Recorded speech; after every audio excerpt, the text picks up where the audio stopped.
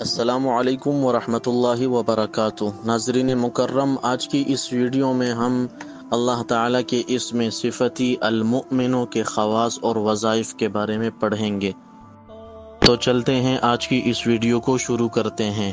Number ایک، جو کثرت سے اس کا ورد کرے، اس کا ایمان قائم رہے گا اور مخلوق اس کی فرمان بردار اور معتقد ہو جائے گی۔ نمبر دو جو شخص روزانہ تین بار یہ اسم مبارک پڑھنے کا معمول رکھے، اس کو کوئی خوف نہیں ہوگا۔ جو شخص یہ اسم مبارک ایک سو چتیس مرتبہ پڑھے، تو وہ ظالموں کے ظلم اور جملہ آفات سے محفوظ رہے گا۔ اگر خوفزدہ آدمی فرض نماز کے بعد چھتیس مرتبہ اس اسم کا ورد رکھے تو اس کی جان اور مال محفوظ رہے گی۔ نمبر پانچ، جس شخص پر خوف تاری ہو، وہ شخص یا سلاموں یا مؤمنوں کا ورد رکھے۔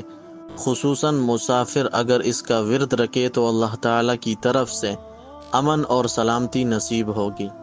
نمبر چھ، جو شخص کسی خوف کے وقت چھ سو تیس مرتبہ اس اسم کو پڑھے گا انشاء اللہ العزیز، ہر طرح کے خوف اور نقصان سے محفوظ رہے گا۔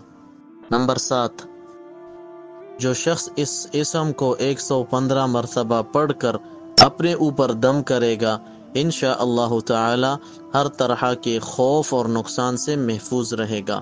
نمبر آٹھ، جو شخص اس اسم کو پڑھے یا لکھ کر پاس رکھے، اس کا ظاہر اور باطن اللہ تعالیٰ کی امان میں رہے گا۔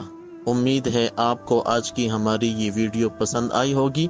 اسی طرح اللہ تعالیٰ کے ننانوے ناموں کے خواص اور وظائف کے بارے میں جاننے کے لیے ہمارے چینل کو ضرور سبسکرائب کریں۔